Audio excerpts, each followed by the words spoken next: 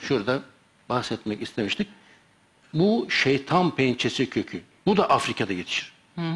Patates gibi yumruları var. Bu yumrusunun içerisinde harpagozit denen bir madde var. Flavonit türevlerinden. Bu romatizmaya karşı dünyada en etkili bitki. Bununla ilgili Freiburg Üniversitesi'nden Profesör Doktor Kubrinski artrit, artroz, ankilozan spondilit, fibromiyalji gibi romatizma hastalarını tedavi etmiş binlerce kişi. Yani omuz, sırt, bel ağrıları, kalça ağrısı, diz ağrısı veyahut da eklemlerde kireçlenme veyahut da kemik erimesi. Bu tür rahatsızlara karşı